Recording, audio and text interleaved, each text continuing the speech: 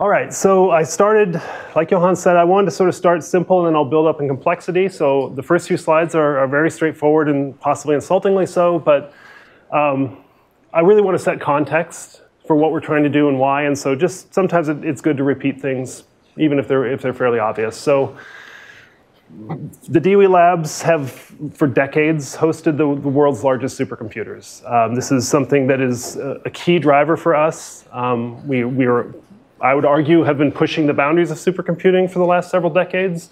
I have a screenshot of the top 500 list, uh, the most recent one. We have three of the top six slots, including the top slot. Um, so this is, you know, this is, this is what we do. This is something we, we very much care about.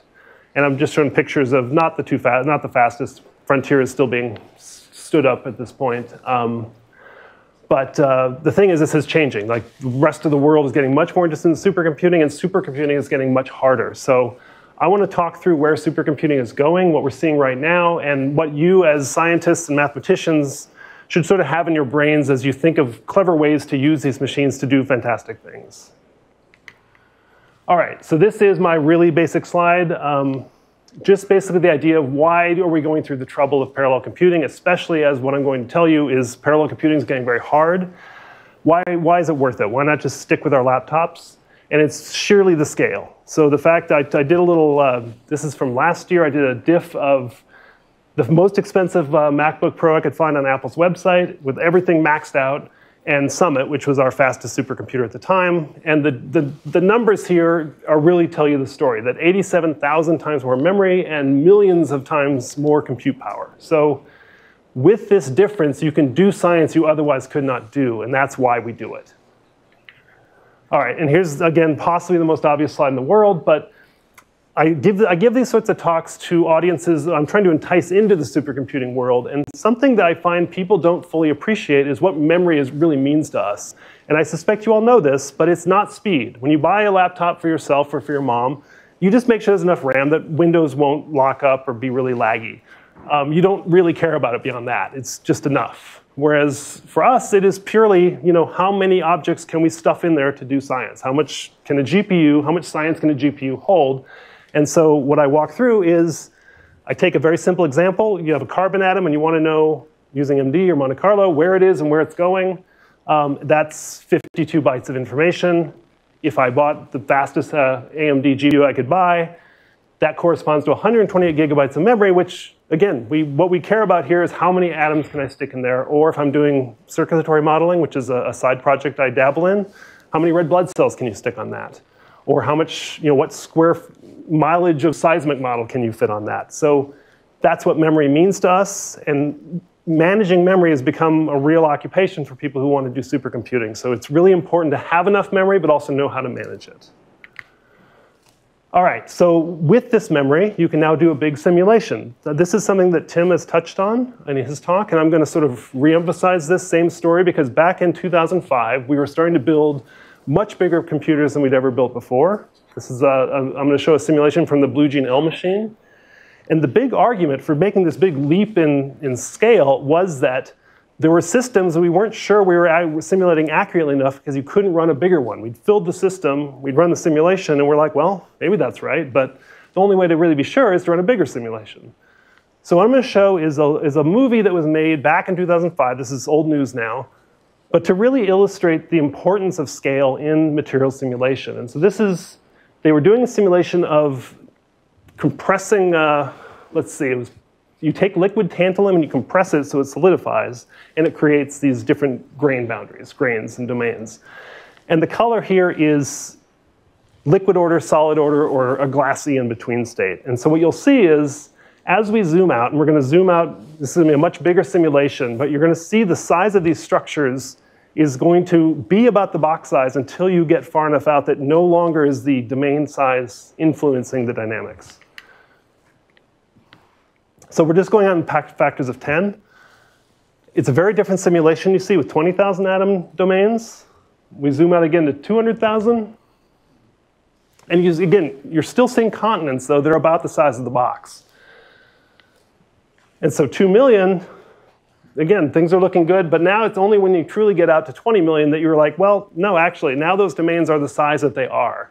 And this is, in fact, we think, a realistic simulation to do. And so this is just, know, the movie's finishing out to show you this is just a slice through a three-dimensional simulation and that we didn't just cherry pick the one that actually looked reasonable. It all basically looks about the same.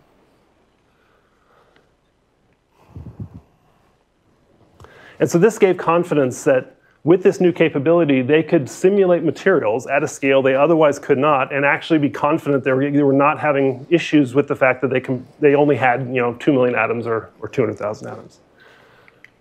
All right, so that's just the basic takeaway is you just, if you want to be sure it's big enough, you just run bigger and bigger and bigger until it looks the same basically, and then you can take one step back and save yourself the time. All right, I think this is my last super obvious slide, which is we do parallel computing, and this is really the, the argument most people have had most of their lives for parallel computing is strong scale your way so that you get an answer faster. And if we were truly able to strong scale from a laptop to full summit, it is an astonishing difference. One hour of work on full summit is basically 736 years on the, the best MacBook you could buy last year. So obviously that is compelling. And so an example I want to give for this was another project I worked on at Livermore back in 2012. And this, we'd just gotten our Blue Gene Q machine, Sequoia, and they wanted to do something, because this is an IBM system, and IBM and Livermore were talking about what can we do that would really show how cool it is to have a giant supercomputer. This was basically back when IBM was building Watson, and they had just had a real bent for PR at the time.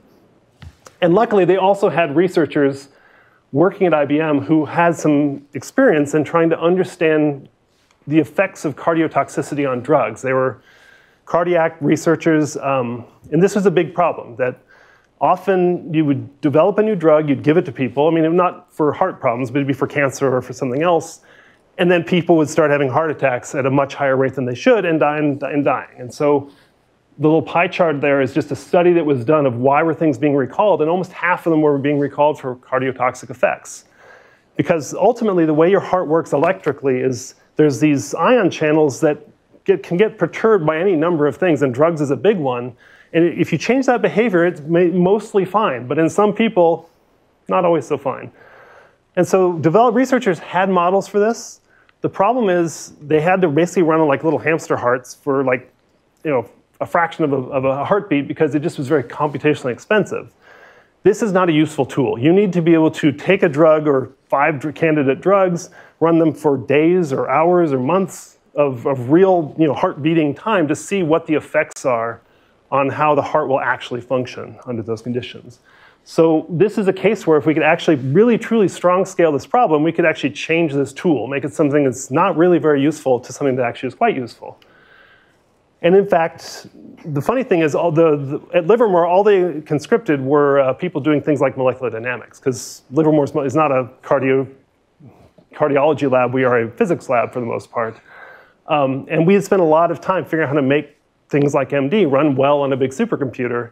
It turns out a lot of those lessons transfer very naturally over to this type of application. And so it worked out very well. Um, we used our expertise. They, had, they brought in the hard expertise. And ultimately, we were able to get not quite real time, which really was crushing because we were desperate to get real time. But an hour of heartbeats we could do in an hour and seven minutes, which is still pretty good. And so here's a picture of an arrhythmia that came out of that project.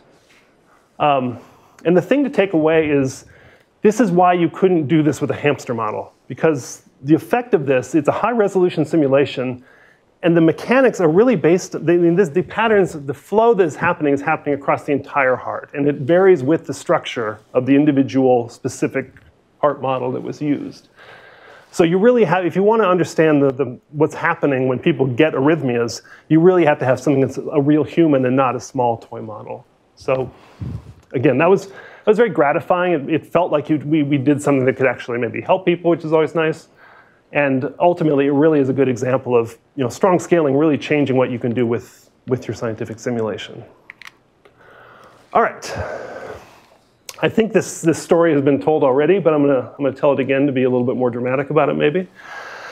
This is sort of a, a quick two slide history of HPC. Uh, we had a, a long period where we had vector machines, big special purpose supercomputers and then we hit the 90s, and it turned out people were buying regular personal computers, and if you just chained them together, it was much more cost effective to make a computer that used distributed memory and had a bunch of off the shelf pieces all hooked together with a nice fast network. And um, it was honestly, it turned out the golden age of HPC. We didn't know it at the time. But this distributed memory era lasted from tens to hundreds of cores in the 90s up to a million cores in the 2010s.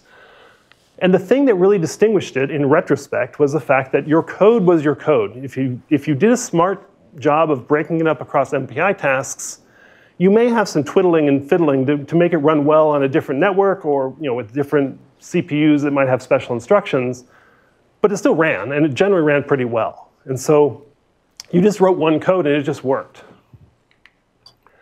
We are now in the heterogeneous era, and that, everything I just said is no longer true really pretty much at all. So now we have CPUs and GPUs. The thing that we're seeing is we don't see a path forward to continue to have everything speed up without greater and greater specialization because we're hitting limits of fundamental physics and material science.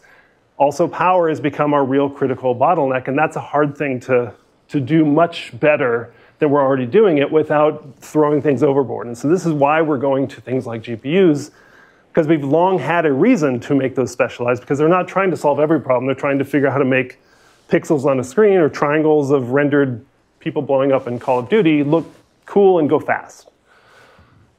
So this is the reality we're in. Um, key things, and I think this has probably already been talked about, is that compute has gone so much beyond all the other parts of an HPC system that the, the lessons we used to use of don't do redundant calculations, be really smart about breaking this up so you don't calculate the same thing twice, is on its, it's been turned on its head. Compute is basically free. Recompute anything you want. It's totally fine. Don't move data. Don't waste memory. Those are, those are now the, uh, the real driving factors.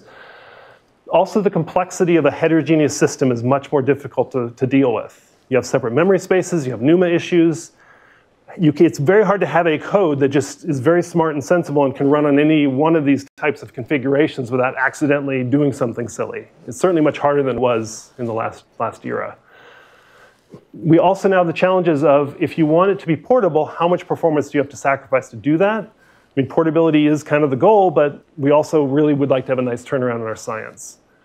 And then the final store thing is we are going, we are in the process of, and we'll probably have to continue refactoring all these existing codes that were developed during the distributed memory era for the heterogeneous era. We, it's a lot of work, and this is what the exascale computing project has been struggling, working on the last six, seven years.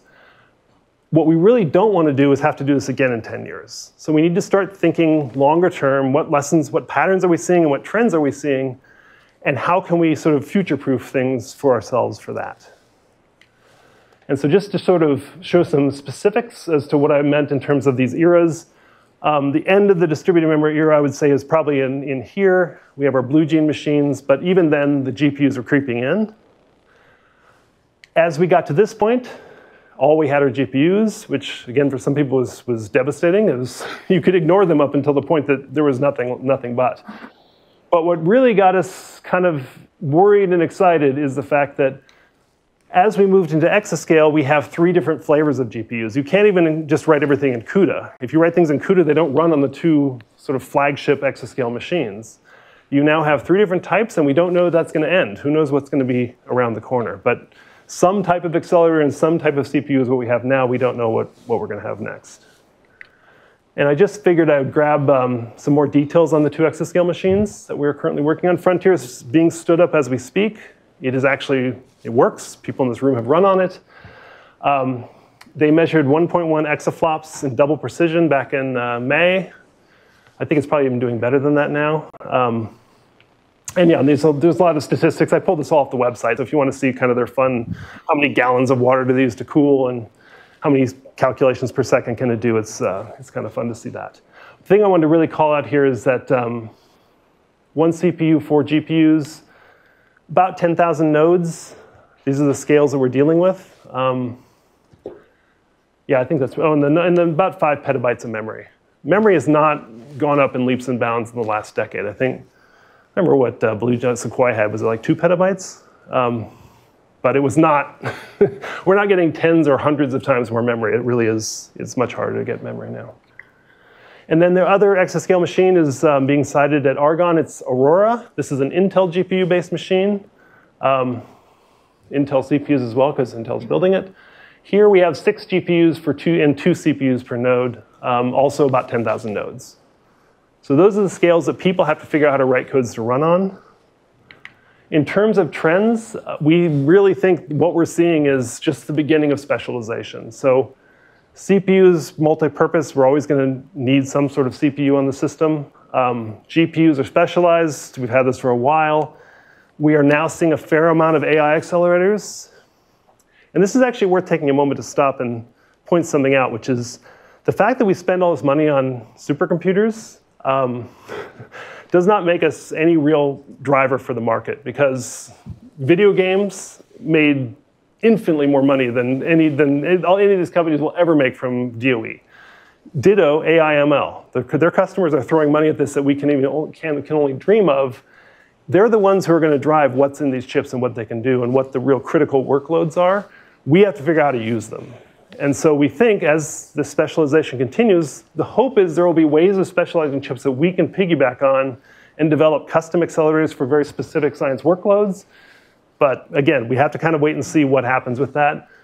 And then the thing that everyone's very excited about, I'm personally a little skeptical about, is quantum. I mean, we're going to get there. I just don't know when, and I think it's going to be longer than we think. But it would be fantastic if all the momentum we've had really led to something functional in the next 10 years or so. All right. Okay, so why is heterogeneous computing hard?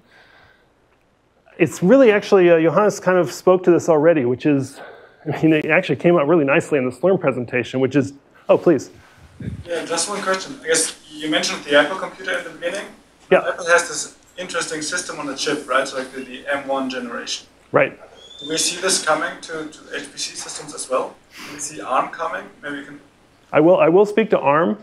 Um, I can't speak to Apple's. I mean, I think Apple is really essentially ARM-ish, isn't it? I mean, and I will, I will speak to that in a, in a bit. Um, unfortunately, even that doesn't really save us because in place of these specialized accelerators, they have very wide SIMD units that are probably uh, even harder to use, I would argue, than, than GPUs. So even though you don't have two separate programming models, you still have this situation where you have to find a way to line up, line up your calculation to fit into these massive vectors that is not easy to do at all. All right, so when we talked about Slurm, it came up that, well, if I want to, even if I just want to run on CPUs, how do I make sure I bind this so that I'm using the memory spaces I think? If I want to run CPUs and GPUs, I have to make sure that they're in the right, you know, I'm, I'm attaching my MPI tasks to the socket that, that the GPU belongs to. And we have distinct memory spaces down here. So, you know, DDR is up here, each GPU has its own memory. Um, you need to fit thing, all the, all the work, all the data for the work you want to do at the right place, and then you have to move it around. That, that's unavoidable. And managing this gets tricky. One thing that's interesting is when we got Sierra, um, the, the classified, or the NNSA version of Summit, it had hardware unified memory, which some of our code teams were like, great. If I need the memory, if I need, if I need to touch data and I haven't moved it from the CPU to the GPU, it'll just do it for me. Turns out it will. Um, but there's some unintended consequences. One of the teams had a massive performance problem. They did all the porting work. They thought it was going to run great. And it was like 10 times too slow. And they, the, the performance profiling tools were kind of immature at the time. So they really just were going in circles. And then they finally got a good tool that would show them what was happening. And it was data motion up the yin yang. And what happened was they had some object that had in it a member variable. It was just like a handy parameter, and, and some piece of code in one routine was just grabbing it. It's like, oh, let's just make sure that we haven't exceeded the box size or whatever the parameter was. And then somewhere later in the GPU kernel, it needed it as you know, something to be multiplied by. And so what they were doing is paging this page that had this variable in it back and forth and back and forth over and over and over, and it took up over half the runtime, which is astonishing for how it was eight bytes or something. But it just goes to show that if you don't manage this, if you just sort of let things happen, terrible things can happen. It's very hard to do things performantly by accident. So you really have to kind of stay on top of it and know what's going on. Um, and then for heterogeneous computing now, if you write your code for Summit, how do you make it run on Frontier and Aurora? So each of these have a different programming model. CUDA doesn't work on Aurora or Frontier, and their programming models don't really work anywhere else either. SYCL, they tried to make it very portable, but it's not been picked up. And then why is using an accelerator is hard? And this is where I want to talk about ARM. because we're in this specialized era, we need to find ways to get more compute out of the same amount of power. There's really no free lunch. So GPUs use SIMT, where you want to line up all these, all these instructions, you know, run them on this massive, you know, wide, large numbers of threads, get warps all going. Um, so the idea is GPU accelerated architecture is really designed around the assumption of these massively concurrent workloads. If you don't have that, it's hard to use a GPU well. The problem is, um, so do CPUs now. So every CPU that I'm aware of uses vector instructions in some capacity to, achieve the stated performance. If you hear about a you know 10, 100 gigaflop uh, CPU, it's because they're able to execute all these instructions as vectors. And so I just put a little picture of what a SIMD operation is if you're, if you're not aware or if you didn't remember.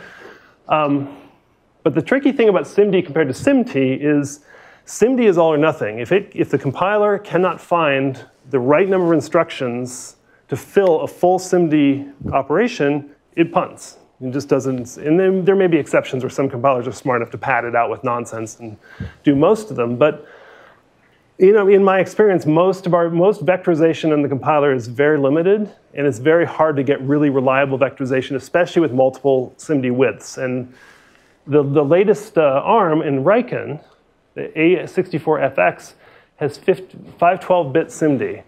That is 64 doubles. Um, that you have to do all at once, every time. And the thing that's kind of terrifying is this is a 500 petaflop system. If you don't get those SIMD instructions in most of your workload, it's actually an 8 petaflop system. That is you know, a massive loss of performance. But it's unavoidable because the power is the power, and you know, this, is, this is just how computing is now. So it's people are dragging their feet and resisting going to GPUs because you have to rewrite your code. But living in the CPU-only world is not much easier, and it's it's we're building fewer and fewer machines that are pure CPU machines. All right, I've given a bunch of slides. Now I figure I would stop and ask who should care about this talk. Um, so obviously, I'm hoping for the rest of this talk to sort of talk through some of the design decisions that people writing codes are going to have to make. So if you're planning to write some code at some point in your life to run on these machines, definitely pay attention.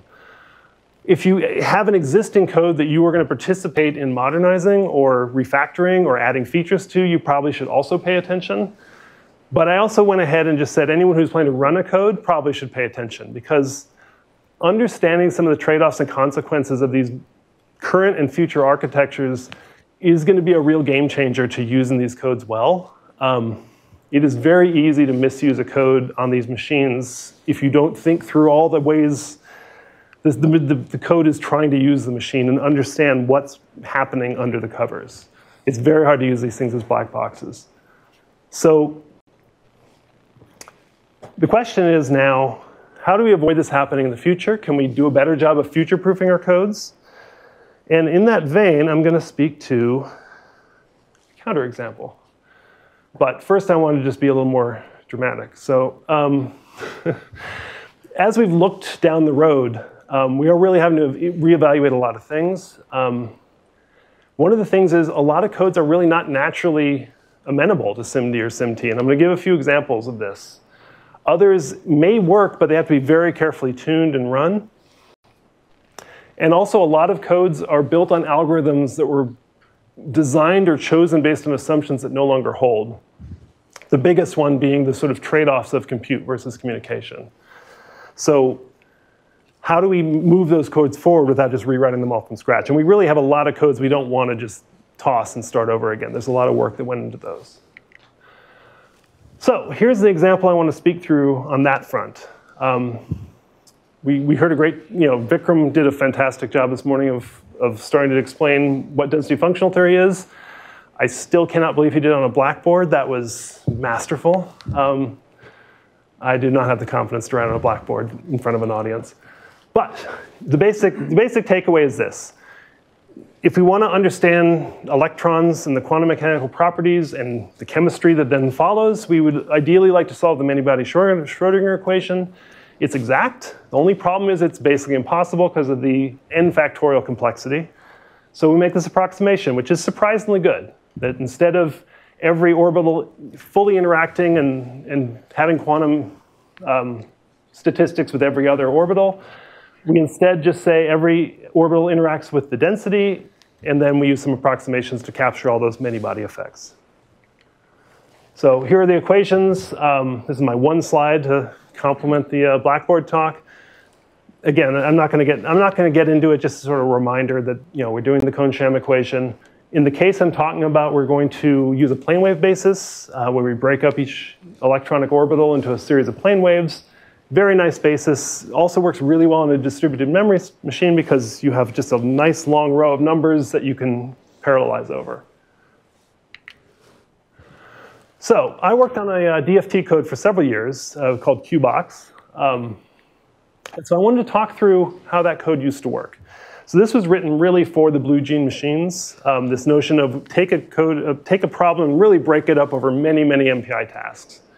So we used uh, a logical process grid. Each orbital, electronic orbital, lived on a column. And so each column, process column, would maybe have two, three orbitals, may have 50 orbitals, but you knew that if you want to do something that involved an electronic orbital, you did not have to talk to all the MPI processes, just the ones on that grid. The basis was consistent between, so if you wanted to do something that, you know, some like sum up charge over all the, all the orbitals, you could just go across a row. Really designed to minimize communication as much as possible. All right, so the operations of, these, of the self-consistent loop was a mix of data motion, FFTs, and parallel linear algebra. And so, you know, we might compute the charge density, these nice subcommunicators, um, have to update the potentials, move things back and forth from reciprocal space, more FFTs, um, HSI, that was uh, FFTs and local GEMMs, pretty easy. Things got a little trickier near the end of the loop. We had to do preconditioning and update our, our wave function as we were trying to minimize to the ground state. That was a parallel GEMM, took all the, you know, the entire machine. Reorthogonalizing, even worse because um, we're doing triangle solves, you know, a parallel GEMM followed by a Cholesky decomposition and then a triangle solve, lots of data motion all over the place. And then if we had metals, we had to do another multiplication and a eigensolve. So the problem with this is, it worked, by the way, it worked really well back then. It doesn't work well at all now. So here's a strong scaling plot on um, BlueGeneQ, CPU-only machine, and strong scaling was great because easy to do. All you had to do was keep doubling the number of tasks you ran on. And just as a reminder, I'm assuming everyone here knows what strong scaling is, but that means we're running the same problem on more and more compute cores. Um, and I, at some point, you're going to have so little extra, compute, you know, so little compute for each one to do, but more and more communication, it just becomes not worth it. So it rolls off. And so we, we got up to about a quarter million MPI tasks with very good strong scaling. And even then, we, we saw some improvement, which we were happy about. We went up to over a million. But it, this, this really lent itself to parallel decomposition across the distributed memory system. The problem is we built this code on libraries that I don't know, they don't, they're not going to work on GPU systems. ScaLAPACK was a core library we used for uh, parallel linear algebra. If you look in ScaLAPACK source code, it is a mass of little standalone routines that move data all over the place. So if you're moving from the GPU to a different CPU to a different GPU, it is gonna, you're gonna spend more time doing that than any sort of calculation. The thing that's interesting with, with GPUs is the strong scaling is a very different beast there. Um, because heterogeneous architectures have a bit of a Goldilocks problem. You basically, there's a, there's a, a spot at which you overflow the GPUs. So if you want to put like one orbital per GPU, or five orbitals per GPU or whatever, if the GPU memory is too small for that, because maybe your plane wave basis is too big, it's not, it's just not going to work. Or if it then, if your decomposition forced communication between GPUs, it's going to be horribly slow. When you're basically at the point where you've completely filled GPU memory, that is the sweet spot. That's where you want to live. But as you go up and up, because GPUs demand such massive concurrency, performance falls off much faster. And in fact, can turn over, it can get much worse.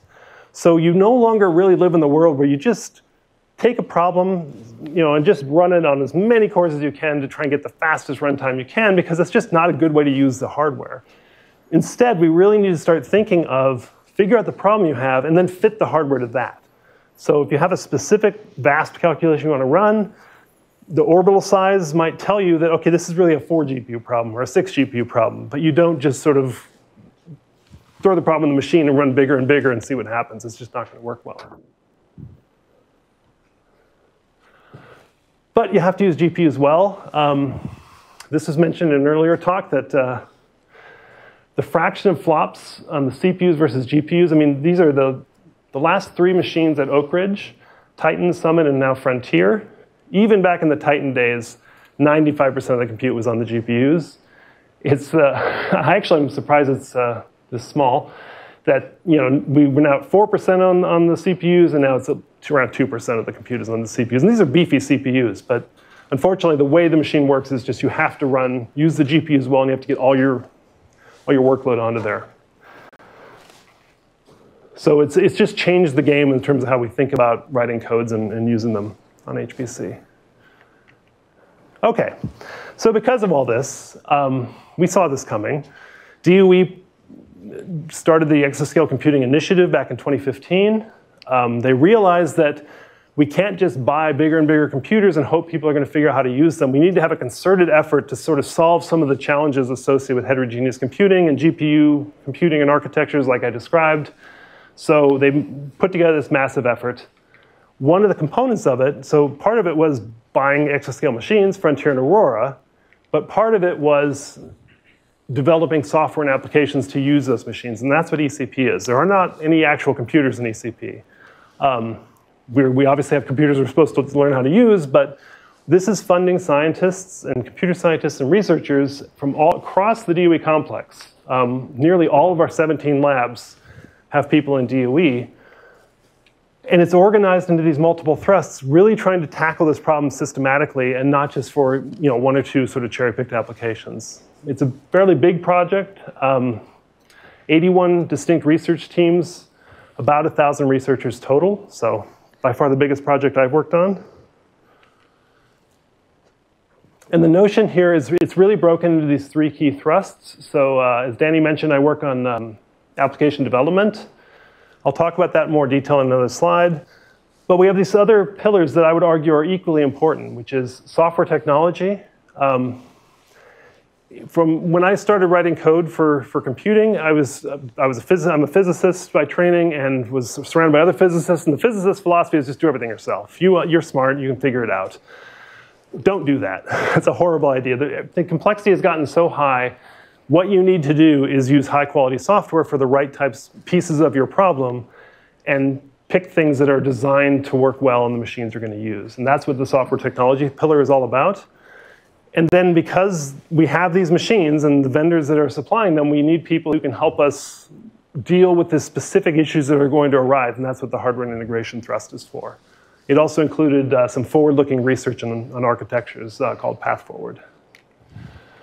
So the application development portfolio, um, there's 24 applications in here, also six co-design centers led by Tim, our earlier speaker.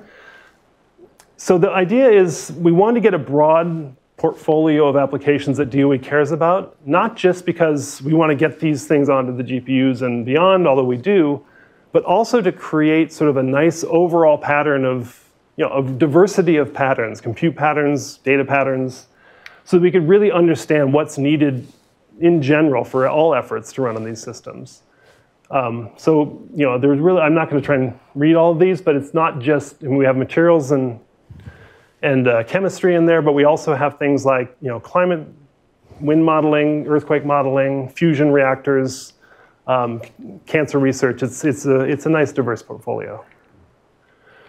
So the details, um, we started with uh, 62 codes, uh, about 10 million lines of code. So this is not a project where we told people, go write some new codes. We really had codes that existed. We had to figure out how to make them run on these new machines. Most of the code started as either MPI or MPI with OpenMP. And I'll talk about OpenMP in a second, but I'm only specifically talking about uh, the CPU threading here. And each project is designed to have a specific exascale challenge problem that they're going to try and execute. It's not just try and make your code run well on these GPUs and we'll see what happens. It really is a very specific, well-defined goal that everyone has to try to achieve. All right, Let's see how am I doing. Not too bad. Okay. So in the second half of this talk, I really want to walk through some of the lessons learned from this application development effort. Um, because I think it's very easy to have the sort of the wrong impression of what you should do if you want to make your code run well on a big supercomputer with GPUs in it. And so I think there's been some really key lessons, and I think some of them are actually very inspirational for people who might be advanced in the field themselves. Um, so yeah, so we have our science goals. Those are set by the researchers we chose. But then there's a, a fair amount of algorithmic innovation that either has happened or needs to happen. At that point, porting has to take place. It's, an, it's unavoidable. But I also want to speak to integration, and this is getting back to the software that I mentioned uh, in the last slide. All right, so let's talk about alg algorithms. So the real thing, so this is a, this is a quote that um, Andrew Siegel, the lead of application development, uh, found, and we both really like it. So it's from Hennessy and Patterson, um, and it's talking about the notion that for a long time we've been using benchmarks, the most famous being uh, LINPACK, to understand how software works on different hardware and do comparisons with hardware.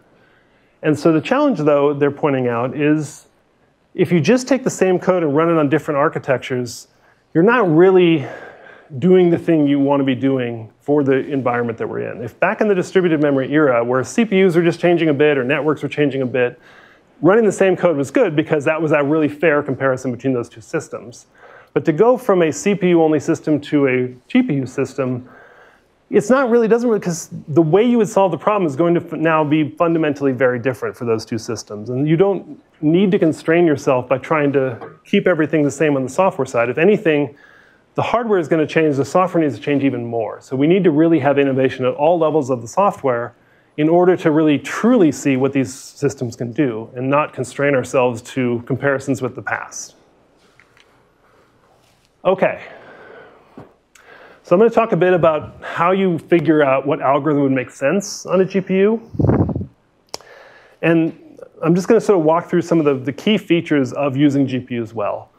Um, obviously, I've mentioned we need massive concurrency. There's enormous numbers of threads in flight on on a modern GPU. Best case is you have a code that has all the performance in some small key areas, and you can really focus on those parts of the code at the exclusion of the rest. That's not always the case. Weak scaling, much better way to think about using a GPU than strong scaling for the reasons I mentioned. High arithmetic intensity or low, low data movement or both. You do not want to be moving a lot of data onto GPUs, doing a little bit of work, moving it off, and, and repeating that. You really need to either move it there once and do a lot of work on it, or leave it there. Those are, those are your best cases. Minimal branching in your code, and I'll talk, to that in, talk about that more in a minute. A high flop to byte ratio is ideal and being able to take, make use of specialized instructions. The thing about algorithmic innovation is there's not a one-size-fits-all answer to what algorithm you should use. It really is going to be domain-specific, but it is everyone in every field should be looking at their code from top to bottom as to how it works on a GPU or how it would work on a GPU, and if there's other things you could do instead. For example, one of the things I think is interesting is a lot of codes have made choices about what subgrid models, for example, you might use because you don't want to use something too expensive. But if it's expensive only on the flop side, it's probably worth it to use the best one you can as opposed to trying to save you know, a few flops here and there. Whereas models or, or methods that are going to move data all over the place should be avoided at all costs. So there's a lot of examples of this. I'm going to speak to one. See if there's anything else here I want to say. Um,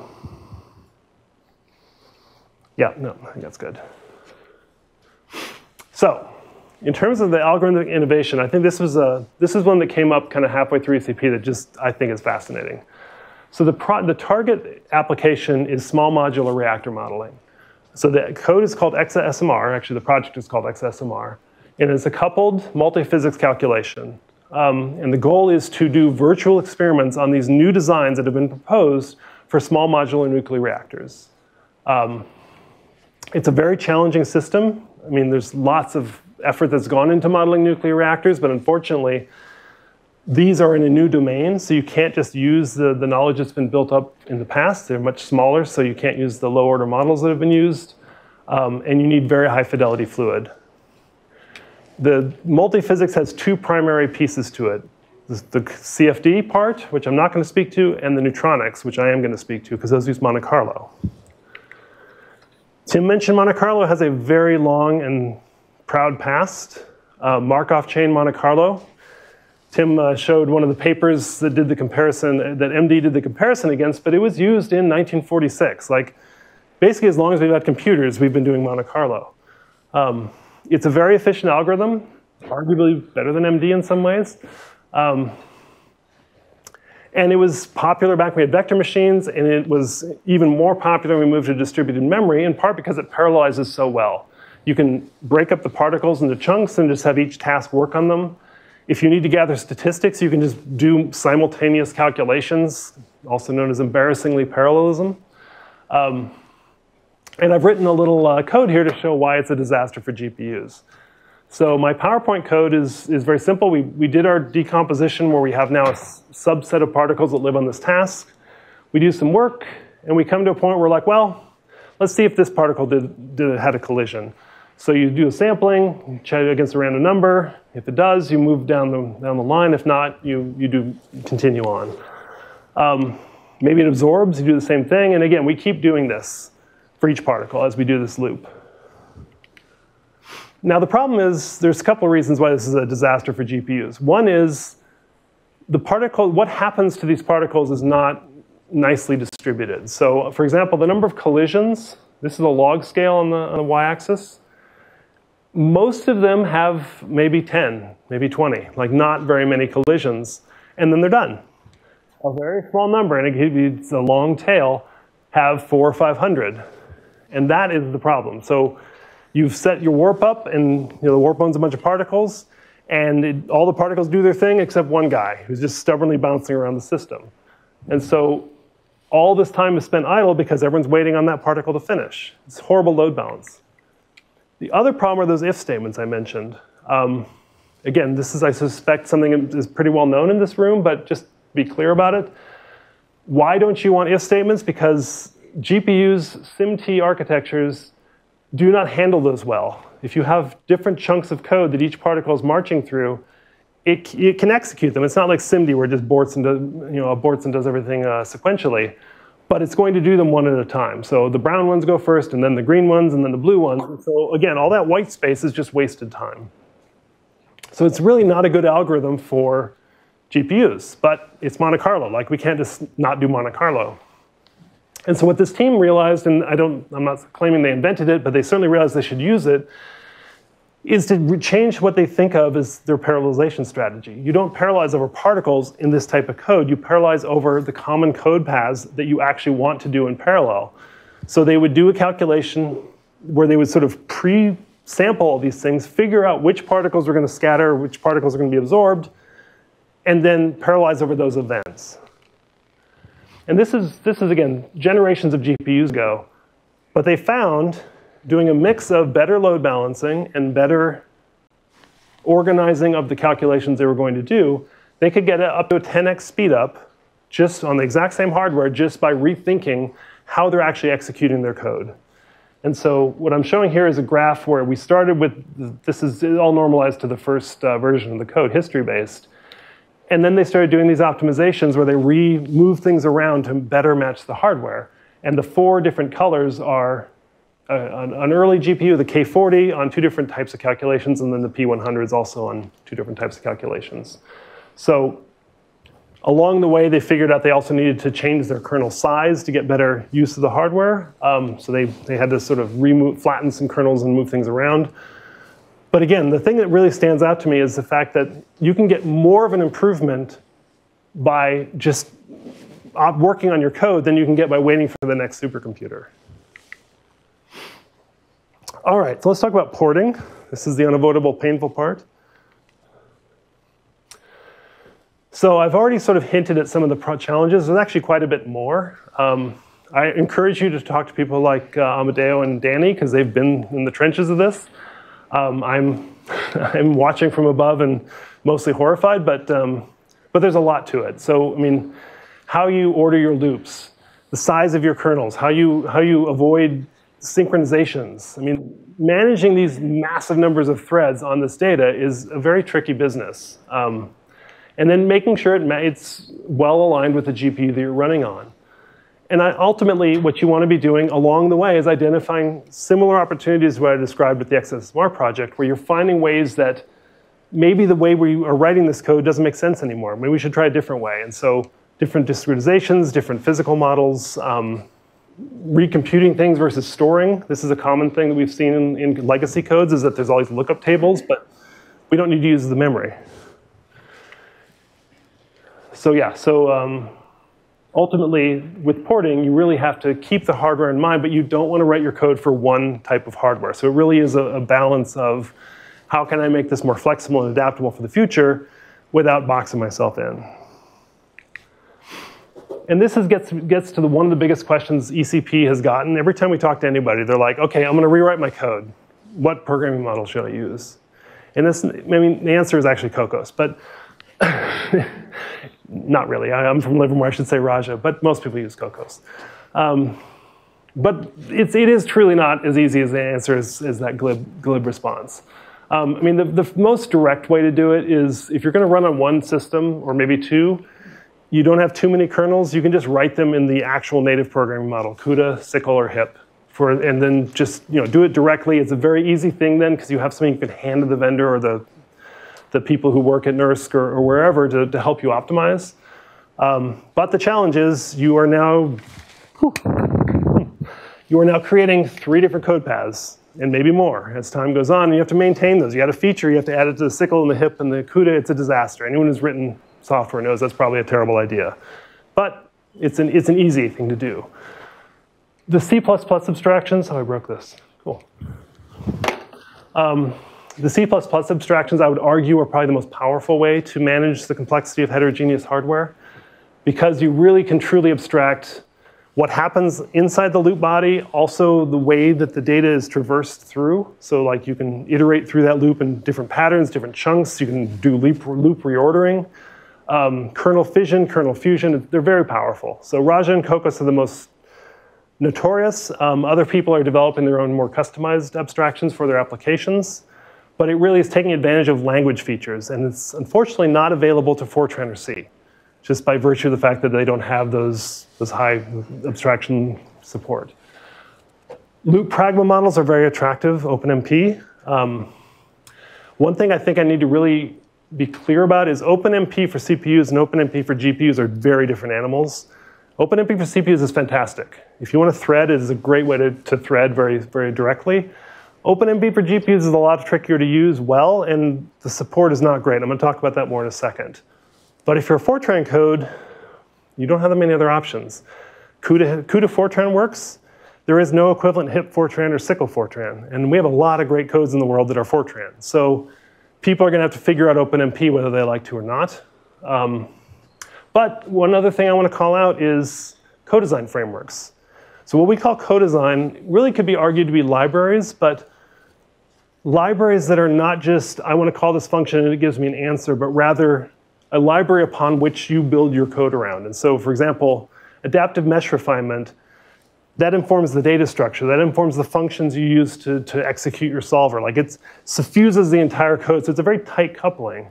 But the nice thing is, if you can find a co-design library that you can really naturally match your application to, they do a lot of the heavy lifting for you then. So they will have the GPU implementations, AMReX, CEED, CoPA. They're, they're developing all this fantastic technology that if you can piggyback on top of, you get carried along very nicely. And, and, and a lot of that can work with things like Fortran. So I encourage people who might be looking to refactor a code to, to look into ECP's co-design libraries. Question?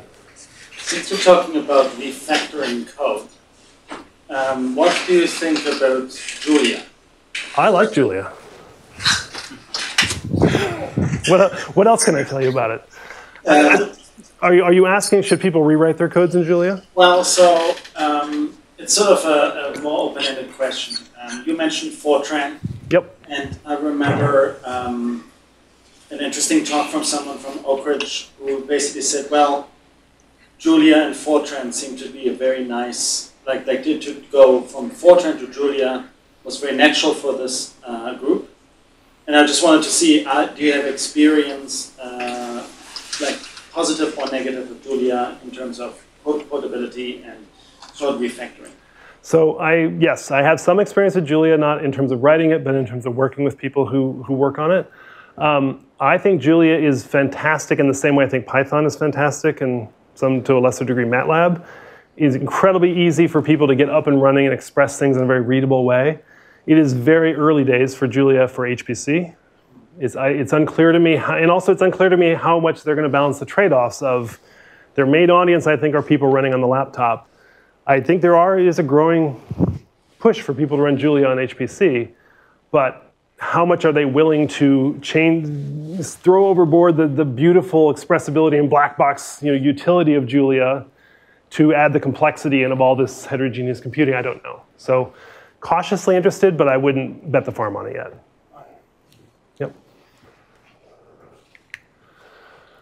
Okay, so just to give a sense, we have, I mentioned we have these 62 codes. Um, we just went and looked what, what programming model to get execute on the GPU are they using.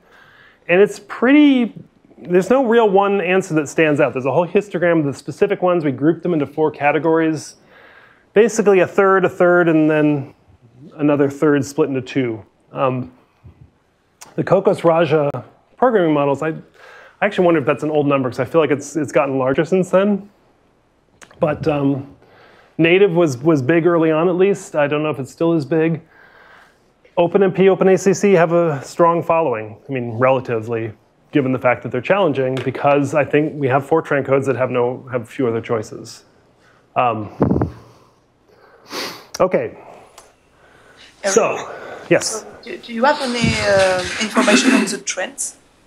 So are there some, uh, because I, am quite surprised that TensorFlow and PyTorch, for instance, are, are so are so low here compared to. That's really no. That's that's so that actually this is this should not be taken as anything except within the group of ECP applications we've chosen. And the reason that they're so poorly represented is almost all of our codes are old school physics codes. We have one machine learning for cancer that is basically those three: the TensorFlow, PyTorch, and and actually, I don't remember who Legion is. Um, yeah, anyway, someone used Legion. Oh. Uh, uh, is that double counting here? Let's say I'm using Kokkos and uh, AMReX. Right. Uh, would that one on each column? No, so what we do, there's some subjectivity here. Um, basically, we had to decide which of the two is their sort of primary mechanism for porting, getting code to run the GPU. If they're making direct Kokkos loop calls, or if they're calling AMReX and the AMReX under the hood is calling Kokkos, we, we called it by whatever the code itself interacted with primarily. Okay, so in terms of sort of the decisions and what, good Lord, I am just ruining this thing. Um, okay, in terms of the decisions that have to be made in terms of choosing a programming model, there's a really instructive example within ECP, which is uh, QMCPACK, Quantum Monte, Quantum Monte Carlo application because they chose an interesting path. Um, they, first of all, let me just sort of remind people, if you don't know what quantum Monte Carlo is, that actually uh, my thesis was a different flavor of quantum Monte Carlo, so it's near and dear to my heart. It's a fantastic application method. Um, because it's incredibly accurate, it's also incredibly expensive and a little tricky. So um, the application is mostly doing diffusion Monte Carlo. They do have some auxiliary field QMC they're using for validation. So they decided to go OpenMP offload. And I'm saying that very carefully to just differentiate it from OpenMP threading. All right, so since uh, Tim used movie quotes, I figured I'd throw one in as well, which is, um, I just want to rewatch Moneyball. That's a good movie. Um, but I, am embarrassed to say on rewatch when, I, when, he, when uh, the owner of the Boston Red Sox is talking about the first guy through the wall getting bloody, I thought of Paul Kent, the PI of the QMCPACK project, and I realized I've probably been spending too much time on ECP because uh, yeah, it's, he, he is the perfect example of this, which is OpenMP offload is a great idea. The first people getting it to work are going through some pain. So they were the first through the wall. Um, they had a working CUDA code. So they, they knew how to run on GPUs and run well on GPUs. And they decided to re-implement their code in OpenMP offload. And it did not go well at first. Um, I'm showing the final results, which are actually quite good, and I'll talk through them in a second. And the problem was using it is it's a little bit of a tricky programming model because you're just decorating loops, but to make things run well in a GPU, you often need to supply information about how to move the data and you know what to do when. and more specific information than really OpenMP was designed to give. Usually the runtime should do all that for you. And then the fact that the offload runtimes are still very immature. Um, NVIDIA is probably the most mature, and the results I'm giving are for NVIDIA. They're now working on AMD and Intel, and they're hitting a lot of the same issues, which is they get these things to work on sort of simplified codes, but in, when you use them in anger, you find a lot of bugs or, or edge cases that were not ever really exercised. And so you get to have the fun of figuring out what's going on, why you're getting the wrong answer, why you're getting terrible performance in very specific cases, and very incrementally you can make things better. But it is it's a, it's a decision that you make because you want the long-term portability, and that's, that's the decision they made. Um, the thing I want to call out here is the, so the performance results they're now seeing, the, the, it's all normalized to their CUDA code, which is the black line. The, it goes from left to right in terms of time, essentially, versions. At first, they were getting this massive difference. It was 10 times slower. Um, and what, I'm, what the different groups are, are just different calculation sizes. So 16 atom, 32, 64, all the way up to 512. The amazing thing is 512 is actually better than CUDA for various reasons. And I think it's, it's not exactly apples to apples because along the way they came up with cleverer ways to handle GPU workloads. But ultimately, uh, by the end, the red, they're not all exactly at CUDA, but they're pretty close. They, they can live with that. That is, that is a reasonable performance for that, especially if it then ultimately can run this well on two other GPU models. But you know, you don't just, when you choose your programming model, you, you, don't, you have to really know what you're in for. And the mature ones, especially the ones that have a lot of the codes already really exercising them well, often are your better bet. But if you truly want specific features of a, of a model, then maybe sometimes you have to be the vanguard to, to make it happen. And Julia may be the next one of those. Like, if you want it to work on an HPC, maybe you're the one who's out there helping make it work on HPC. Now in trends, um, that was an interesting question because we have seen a lot of movement. Um, one of our biggest movements is Fortran to C++. Just because those abstraction layers that you can do in C++ are so attractive, there's so much support for it, vendors are not excited about Fortran. It does not make them money. Um, so you might, eventually Fortran will work on these machines, but you're not their highest priority, and it's, it's hard. I mean, you're trying to get something to work that really wasn't designed for, for that system. Um, the programming models, we've seen a lot of movement toward the C++ abstractions, generally away from either native or the loop pragmas. Co-design libraries have been very fixed. That's, that's kind of a long-term relationship. You don't break up very easily. Um, but I think these trends really tell us a lot about where new people should really look. You should look at the C++ and the Kokkos Raja. All right, so last thing I want to talk about integration. People who work in HPC historically have eschewed libraries or dependencies as much as possible, and in large part because I'm on a brand new unstable system. If I need three other libraries to work before I can run my code, that's just three more things to go wrong or that someone else has to fix. Better I just do everything myself. That is no longer the case because of essentially we've gone full circle around where if you want to figure out how to use the parallel IO subsystem or do really good performance analysis and you know, measurement and collection of, of statistics, you figuring out how to do that well on each one of these systems is, is, just a lot more work you now have to do. Instead, you should be using libraries by P teams who've made that their job. And so ECP very carefully curated a long list of software technologies and tools that were viewed as necessary for applications and, and, other teams to be able to make good progress going forward and things that we need to sustain. I'm not going to try and talk through all of these. I'll really just point out the categories. Um, a lot of different programming models and runtimes, a lot of tools. Uh, math libraries are really critical. I, a lot of, uh, I actually really have to strongly recommend if you can use math libraries, things like solvers or discretizations, you definitely should. Um, but honestly, the sort of end of the day stuff is really important as well. And we haven't really exercised this as much because IO is always the last thing to stand up on a, on an HPC system. Um, but viz, in situ viz and analysis, compression, these are, these are all very difficult things to do well, and there's a lot of really great innovation in there. Now, one thing I think is really interesting about the software technology part of ECP is they're not just content to create this sort of basket of products and throw them in the world, but they're trying to kind of help create some structure and organization to it. So there's two other pieces to the, the project that I just want to call out. One is what they call their SDKs, software development kits. And really what they're trying to do is make groups of software much more compatible in terms of the user expectations. What are you going to find? Can you, you know, if you want to use Trilinos for your solver and you want to switch over to hypre, how compatible are the APIs? How easy is it going to be to make that switch? What are your expectations? Really trying to just bring these communities together and have them define some standards that they're all going to adhere to to make life easier on the users.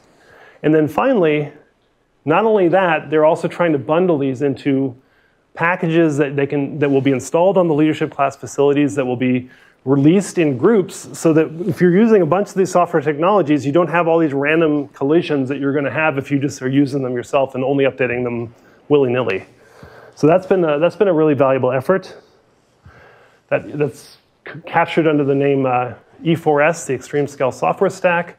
I wanted to do a shout out to Spack, um, which is, if you don't know what Spack is, follow that link because life is much easier in the HPC world in terms of building and installing software and libraries if you use Spack. It used to be you had to do everything yourself with CMake or, or AutoConf, and it was kind of painful. This really simplifies a lot of that. And so that's part of the delivery for this, this E4, E4S ecosystem. All right, I'm going to close with just a few examples, um, just to sort of show why it's worth all this effort. Like I, I talked at the beginning about the, the size scales or the time scales you can achieve. Um, we've had some very impressive teams come through ECP and do some very impressive things. Uh, and this is just three of them. Actually, I'm to we have a bonus fourth one. This one uh, I have mixed feelings on because I live in the Bay Area and they're constantly showing uh, earthquake simulations of my house in the red zone, which kind of bums me out. But it's really my fault for buying a house right on top of the Hayward Fault. Um, so this is a fascinating one because it's a code written by physicists, uh, mostly at Livermore, some at LBL. And it, it, ran well. It had a lot of great math in it. It was a C or Fortran code, um, complex nested loops, impossible to, to read or understand. And so the thought of putting on a GPU, they were like, oh, we haven't the faintest idea where to even start. And they really just bit the bullet. They rewrote it in C++ or took the C and moved it into C++ and adopted Raja. And that made a massive difference because before they were at the mercy of the compilers to optimize. And as we got to more and more SIMD um, on the CPUs, the compilers could not make heads or tails of these big, long, complicated loops. Um, it's like a fourth order finite difference code written in hand by like a genius Swede. So it's, yeah, it's, it's the compiler's never going to figure it out. Um, and so along the way, they also reevaluated their algorithms. They found they changed their discretization to involve curvilinear coordinates to reduce the total number of elements they needed. And from start to finish of the project, they've seen a thousand-fold improvement in their computational work rate, how many you know, elements can they process per second, on machines that really sped up by a factor of 50 at most in terms of theoretical peak. And so it seems almost impossible, but it's because they were using the earlier machines very poorly, they're using the new machines very well, and they've now also reevaluated, their algorithms, so in fact they're solving the problem much more efficiently than they were before. So it's, it's a really fascinating, fascinating result. They've, because of this, they've been able to get to high enough resolutions that they can see the frequencies that shake individual buildings. Before, with a coarser mesh, you can only really see how bridges or much longer, larger structures will, will move because they only have long frequency modes. With the higher frequency modes, you can actually model you know, San Francisco in an earthquake, and you can look at individual buildings and individual neighborhoods based on soil models and say that one you know, the way we have earthquake codes right now are based on very homogeneous assumptions. You could actually use this to make buildings much safer for the area you're actually in because you're not just assuming all buildings will move the same way because it really depends on what soil they're sitting on and where they are. And I talked about the ExaSMR project. Um, they've also been incredibly successful. So they've now actually been able to do a full simulation of a small modular reactor core. Um, they've been able to achieve a 70x performance improvement from start to finish. They don't have quite the quite the thousand-fold increase. I probably shouldn't have led with that one, but for a machine that is 50x more powerful to exceed the hardware capabilities is, is very impressive. And actually, I think they have a fair more headroom as they continue to optimize. So this honestly really gives gives us a tool that can be used to create some you know, clean energy infrastructure that's different than the old school giant Chernobyl reactors. Like this, this, could, this could really help us you know, make a cleaner, cleaner energy environment. And then this is one I think is just fascinating. Um, so this is a project called ExaWind. They're modeling not just wind turbines, but fields of wind turbines, which is a very difficult computational problem. And what I hadn't realized is that wind turbines are very difficult to site because what comes out of a wind turbine is just garbage for every other wind turbine that comes down because it's a massive amount of turbulence. Wind turbines are meant to get nice, clean, straight wind, and then, then they, they spin very nicely. When you send a bunch of turbulence down, you get all sorts of jitter, and the thing is noisier, it breaks faster, it's much less efficient. However, how do you actually know how to site a field to minimize these effects without just plopping them down and then measuring it? Like that would be very expensive, they're hard to move. So what they wanted to do is be able to model the interacting effects of wind turbines under different conditions. You could change heights of turbines, you could change the types of blades. Um, but computationally was completely intractable. They are now at the point where they can do multiple wind turbines separated by hundreds of feet and still get the high, you need very high resolution at the blade. That's why it's such an interesting problem. They're built on top of the AMR um, adaptive mesh library, AMReX. Uh, they also have their own, another code, uh, Nalu Wind, that uh, they've, they've moved along. And they don't have a performance target, they have a capability target, and we haven't hit it yet, but they are basically ready to, to now run on Frontier and try and be able to do this thing that they've never been able to do before. So that's very exciting.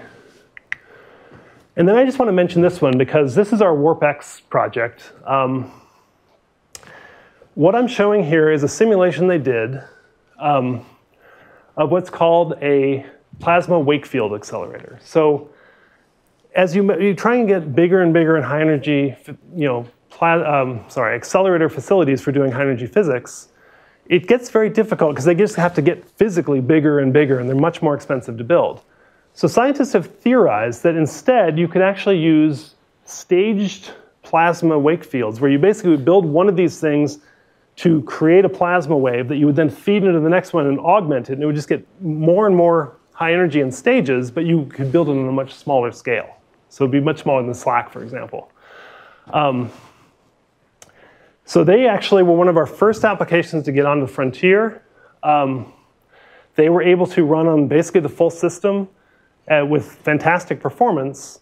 And in fact, their, their first calculations are really validating that this proposal, which no one's actually tried to build one of these, is showing, and what I'm showing here is the, the, the basic idea is you hit this, um, this kind of angled piece of material with a beam, and the hope would be that you'd get this reflected jet of plasma, electronic plasma going, going in the all sort of in the right direction with the, with the right sort of density and distribution, energy distribution properties.